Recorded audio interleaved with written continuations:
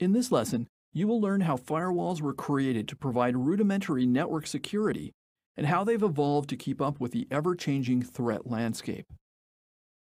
As networks first began to grow and become interconnected with each other and eventually connected to the internet, it became important to control the flow of network traffic.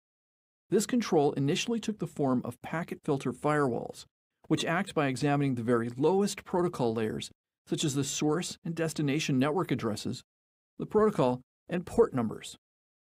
A set of rules in the firewall used these attributes to define which packets would be allowed through. If the packet's network addresses, protocol, and port number match those of a packet filtering rule in the firewall, it would be allowed to pass through. If it didn't, it would either be silently dropped or blocked with a special message being sent back to the sender, indicating that their traffic was blocked. In general, these early packet filter firewalls were very simple and blocked all traffic by default, except for packets that matched one or more rules. Packet filter firewalls worked as planned, but they had a few drawbacks.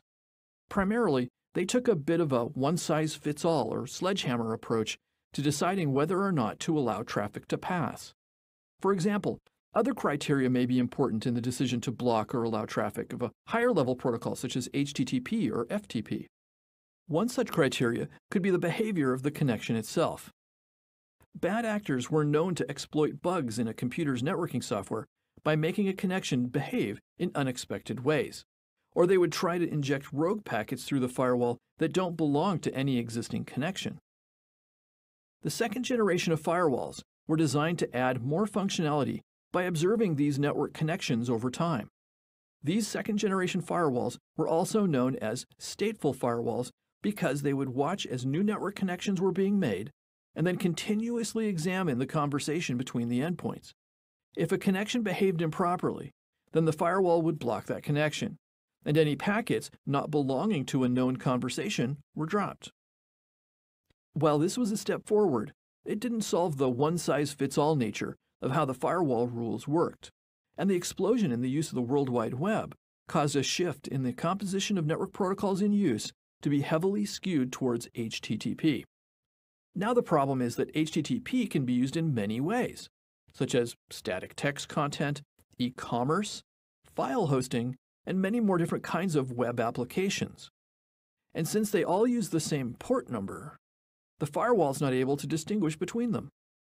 Network administrators need to distinguish between these web applications in order to block the malicious ones and allow the beneficial ones. To be able to see how protocols such as HTTP are being used, the firewall must look deeper into the data payloads. The third generation of firewalls do just that.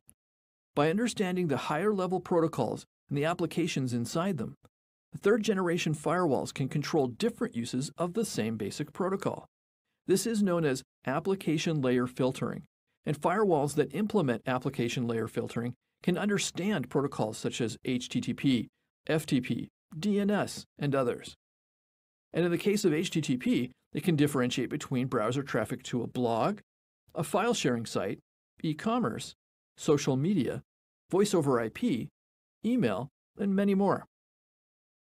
Along with firewalls, most networks rely on a set of services to function properly or to provide different types of network security functions.